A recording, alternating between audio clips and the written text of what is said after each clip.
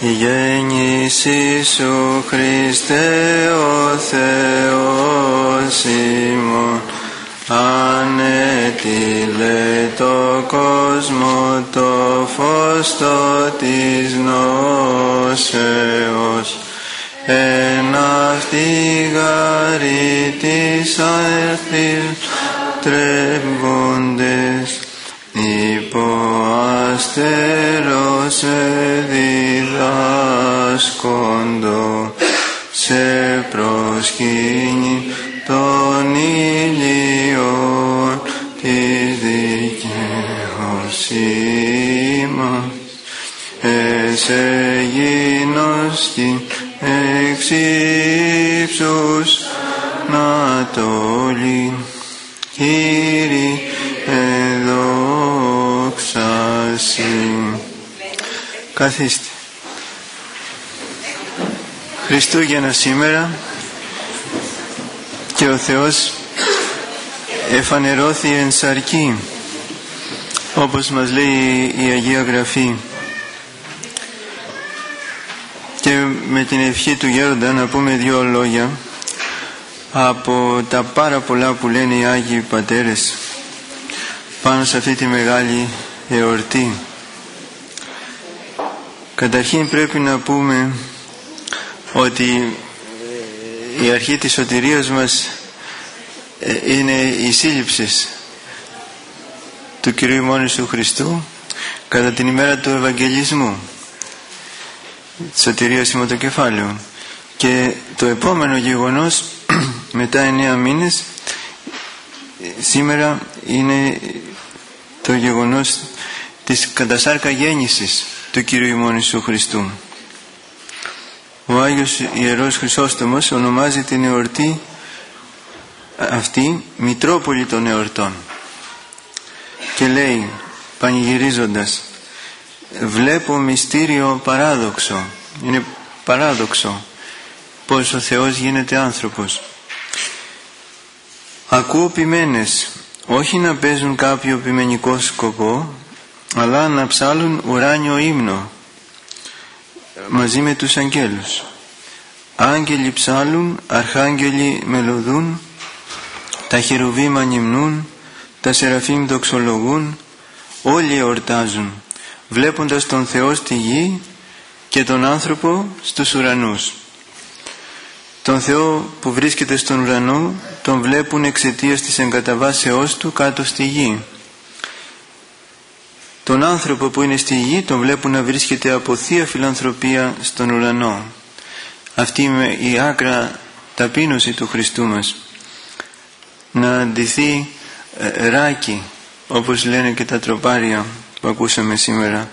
Κουρέλια δηλαδή δίνεται ο Θεός και μπαίνει μέσα στη φάτνη εκεί που τρώνε τα ζώα και παίρνει την ανθρώπινη φύση την οποία είχε φτιάξει ο ίδιος για να μπορέσει να μας φανερωθεί να μπορέσουμε να τον δούμε να μας μιλήσει σαν ένας από μας να συναστραφεί σαν έναν από μας και τέλος να πάθει να πεθάνει.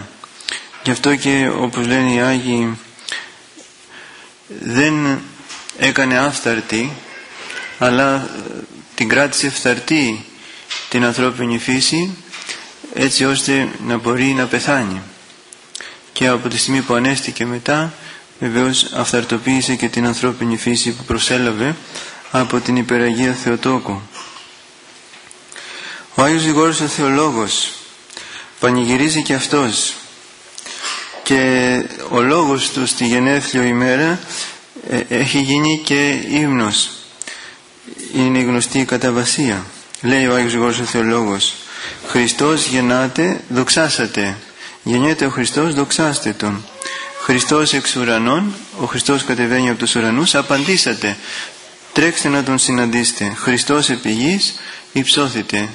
Ο Χριστός κατεβαίνει στη γη εμείς ας υψωθούμε στον ουρανό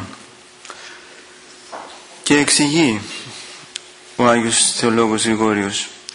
Ο άσαρκος σαρκώνεται ο Θεός δεν είχε σάρκα αλλά πήρε το δεύτερο πρόσωπο της Αγίας Τριάδος αυτό που δεν είχε για να κάνει εμάς αυτό που δεν είμαστε, να δώσει σε εμάς αυτό που δεν είχαμε, την θέωση. Ο αόρατος γίνεται ορατός.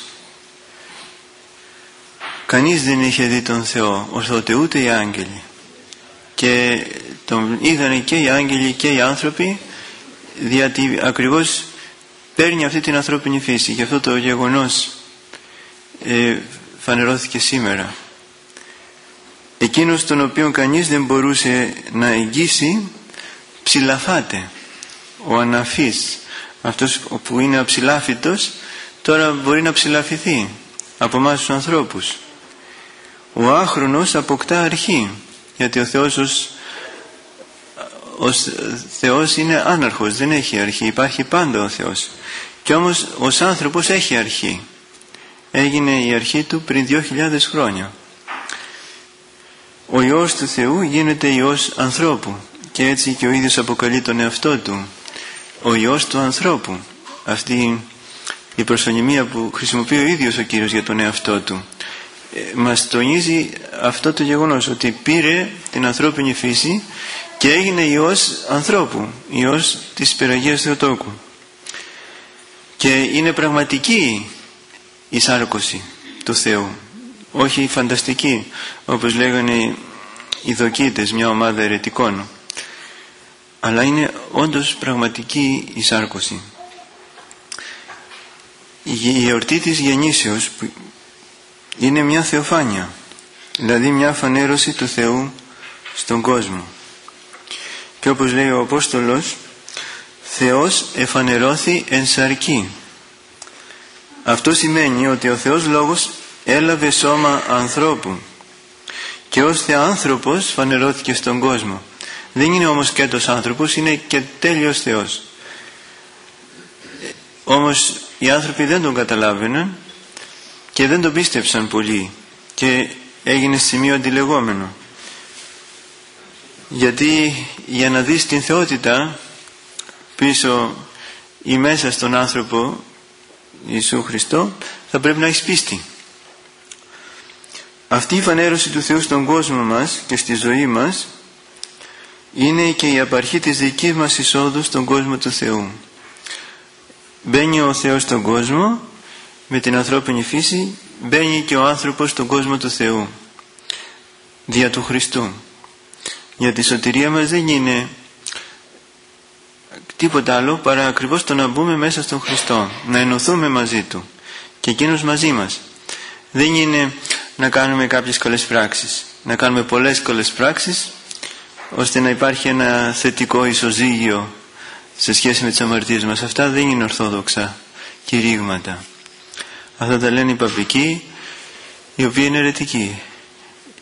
Ορθοδοξία για την Ορθοδοξία σωτηρία σημαίνει ένωση με τον Χριστό η σωτηρία μας δηλαδή δεν είναι ένα πράγμα ή ένα σύνολο από πράγματα ή ένα σύνολο από καλές πράξεις αλλά είναι ένα πρόσωπο. Και η ένωση με αυτό το πρόσωπο είναι η σωτηρία μας. Γι' αυτό καλούμαστε να αγαπήσουμε αυτό το πρόσωπο και να ενωθούμε μαζί του. Και αυτό το πρόσωπο είναι ο Χριστός μας. Γι' αυτό οι πατέρες τονίζουν πάρα πολύ την προσευχή τη συνεχή, την αδιάλειπτη. Γιατί δια της προσευχής ε, ε, αγαπάμε τον Θεό και ενωνόμαστε μαζί Του γινόμαστε κατάλληλοι ώστε να ενωθούμε μαζί Του. Σύμφωνα με τον θεολόγο Γρηγόριο, το νόημα της εορτής είναι ότι ο Θεός ήλθε στους ανθρώπους για να έρθουν και αυτοί κοντά Του και να ενωθούν μαζί Του. Και όπως πεθάναμε μαζί με τον Αδάμ, μαζί με τον Αδάμ που αμάρτησε, πεθάναμε όλοι. Έτσι μπορούμε να ζήσουμε τώρα όλοι με τον Χριστό, ο οποίος έκανε αυτό που δεν μπόρεσε να κάνει ο Αδάμ. Έκανε την υπακοή δηλαδή στον Θεό ως άνθρωπος τέλεια υπακοή. Και γι' αυτό το εδόθη πάσα εξουσία εν ουρανό και πηγής όπως λέει ο ίδιος. Μιλώντας ο Άγιος για την ένωση της Θείας και της ανθρώπινης φύσεως στο πρόσωπο του Χριστού θαυμάζει με δέος. Ένα πολύ μεγάλο μυστήριο είναι ο Χριστός είναι ένα πρόσωπο και έχει μέσα του ενωμένες ασυγχύτως, αδιαιρέτως, αχωρίστος, ατρέπτος τις δύο φύσεις την Θεία και την ανθρώπινη. Και λέει ο Άγιος Γρηγόριος θαυμάζοντας τι πρωτάκουστη ένωση πόσο παράδοξη ανάμιξη. Εκείνος που υπάρχει γίνεται ο όν αυτός που υπάρχει πάντοτε ως Θεός γίνεται άνθρωπος ο άκτιστος κτίζεται. Ως Θεός άκτιστος ε, κτίζεται, δημιουργείται παίρνει την ε, ανθρώπινη φύση που είναι ένα κτίσμα.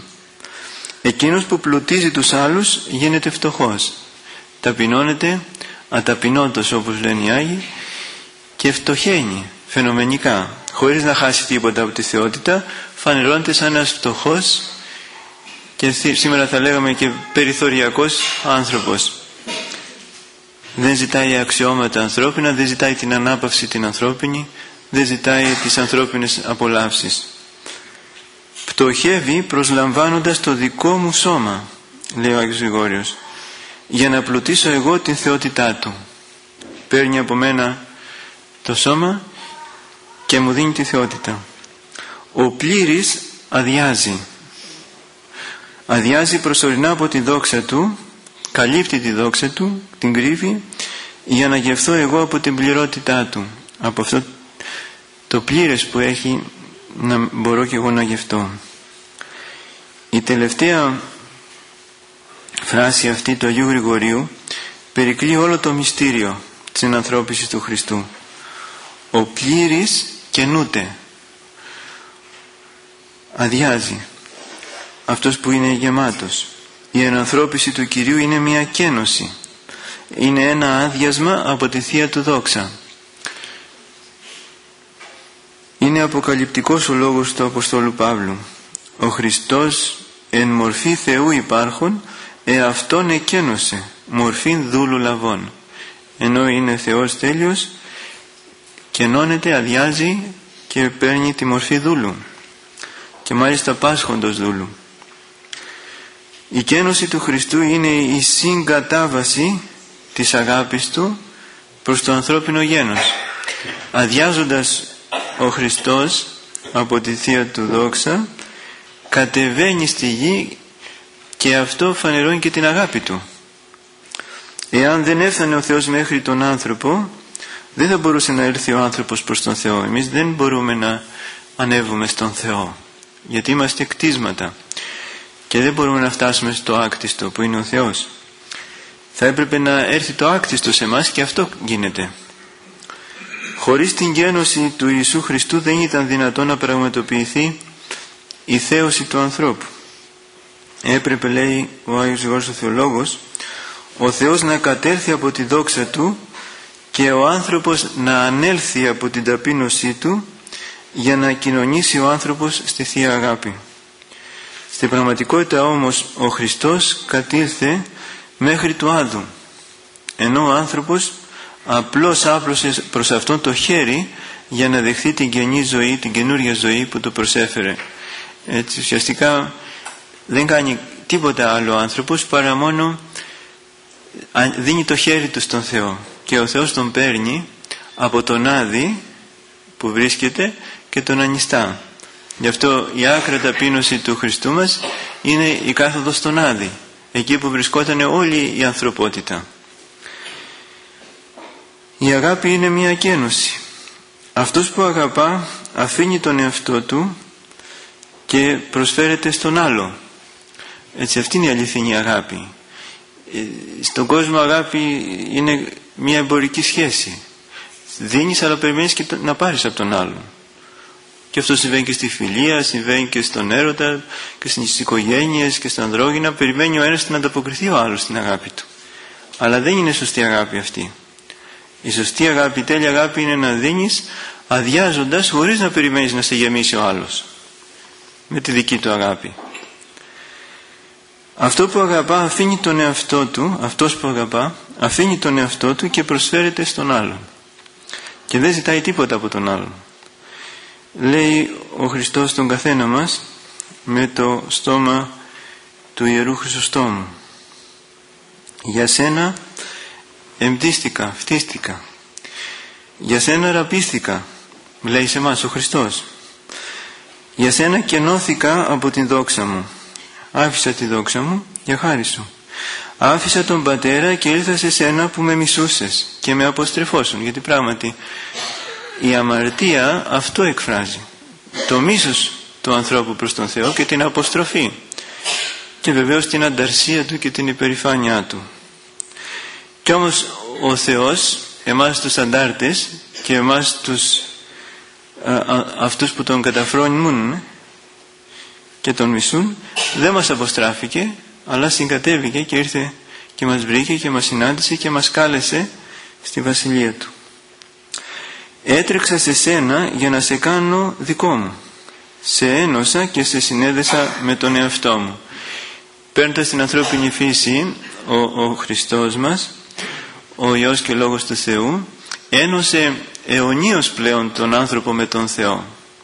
Την ανθρώπινη φύση. Τίποτα πλέον δεν μπορεί να μας χωρίσει από τον Θεό.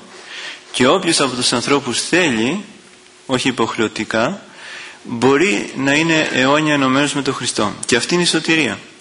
Διά του Χριστού. Γι' αυτό λέει ο Χριστός μας ότι εγώ είμαι η οδός. Γιατί μόνο δια μου μπορεί να πάει κανείς στον Πατέρα. Γι' αυτό και όποιοι αρνούνται τον Χριστό ως Θεάνθρωπο και ως δρόμο αυτοί δεν έχουν πρόσβαση στον Θεό Πατέρα. Γι' αυτό δεν έχουν δίκιο όλοι αυτοί που λένε ότι όλοι έχουμε τον ίδιο Θεό. Δεν έχουμε καθόλου τον ίδιο Θεό γιατί δεν έχουμε τον ίδιο δρόμο που πάει στον Θεό. Όλοι αυτοί που, που λένε ότι έχουμε τον ίδιο Θεό αρνούνται τον Χριστό. Οπότε δεν έχουμε τον ίδιο Θεό. Σε ένωσα λοιπόν και σε συνέδεσα με τον εαυτό μου λέει ο Χριστός σε εμάς. Και στον ουρανό επάνω σε έχω με την ανθρώπινη φύση που προσέλαβα μας έχει ανεβάσει στον ουρανό.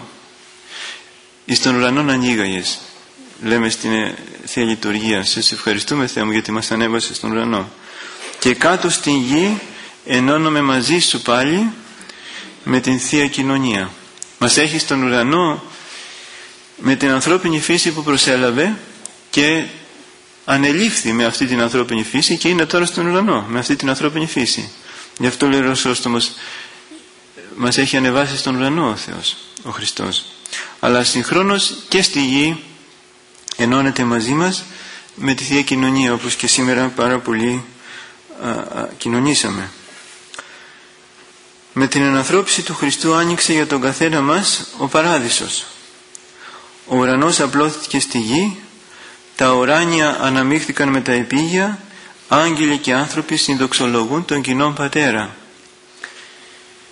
Ο άνθρωπος αρχίζει να ελπίζει στην Ανάσταση να χαίρεται τον ουράνια βασιλεία.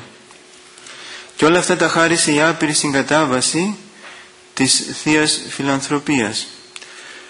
Αυτή έκανε το μεγάλο θαύμα της επίσκεψης του Θεού στον κόσμο μας. Χάρη στην αγάπη του Θεού σωζόμαστε. Και χάρη στην αγάπη του Θεού γιορτάζουμε τα Χριστούγεννα.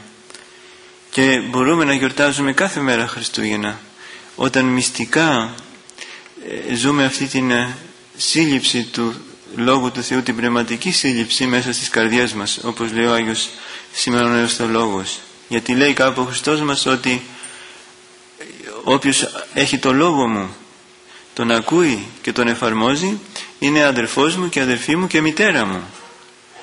Η Παναγία είναι η μητέρα του. Πως γίνεται ο κάθε χριστιανός να είναι μητέρα του Χριστού; Γίνεται όταν ακριβώς εγκολπώνεται το Λόγο του Θεού και τον τηρεί τον έχει μέσα στην καρδία του. Οπότε πνευματικά γίνεται μητέρα γίνεται και αδερφός γίνεται και Υιός. Οπότε και κληρονόμος γιατί ο Υιός κληρονομεί τον πατέρα. Αυτή η άπειρη συγκατάβαση έκανε το μεγάλο θαύμα, θαύμα της επίσκεψης του Θεού στον κόσμο μας. Τι μπορούμε να ανταποδώσουμε στον Κύριο για αυτό το πέλαγος της φιλανθρωπίας Του Ίσως μέχρι σήμερα στην αγάπη του Χριστού να απαντήσαμε μόνο με την αχαριστία μας στη ζωή μας πιθανόν να λυπήσαμε τον Χριστό Εκείνος άφησε την Θεία Δόξα Του και κατέβηκε στον κόσμο και υπέστη τα πάντα για χάρη μας. Ας κάνουμε κι εμείς κάτι για μας τους ίδιους. Γιατί ο Θεός βεβαίως δεν έχει ανάγκη από μας, ούτε από την ευλάβειά μας, ούτε θα Του προσθέσουμε κάτι. αν του δείξουμε αγάπη. Αλλά ζητάει να τον αγαπήσουμε για μας τους ίδιους γιατί εμάς ωφελεί αυτό. Ας τον παρακαλέσουμε ταπεινά με το πύρι της αγάπης που έχει για μας να ανάψει μέσα μας την αγάπη για Αυτόν ώστε όπως λέει και ο Άγιος Νικόδημος να μην επιθυμούμε άλλον να μην αναπνέουμε άλλον παρά τον Κύριον. Αυτός να είναι η αναπνοή σου ας δώσουμε τα πάντα εις τον Χριστόν αδελφοί μου για να λάβουμε τα πάντα από Αυτόν δηλαδή να λάβουμε τον ίδιο τον Χριστό γιατί ο Χριστός είναι το πάνω όπως έλεγε και ο μακαριστός ο πατήρ Πορφύριος. Αυτά ήθελα να πούμε σήμερα. Ελάτε να πούμε η γέννησή σου. Η γέννησή σου Χριστέ ο Θεός ημών ανέτειλε το κόσμο το φως το της γνώσεως. Εν αυτή γαρή της άστρης τρεύοντες υπό αστέρος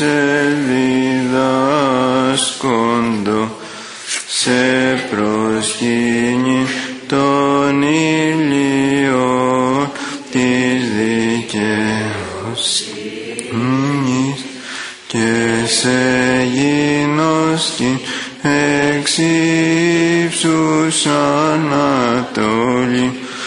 Κύριε δόξαση Διευχών των Αγίων Πατέρων ημών Κύριε ο Χριστέ ο Θεός ημών ελέησον και σώσον ημάς αμήν. Χρόνια πολλά σε όλους και ευλογημένα και καλά και εν μετανία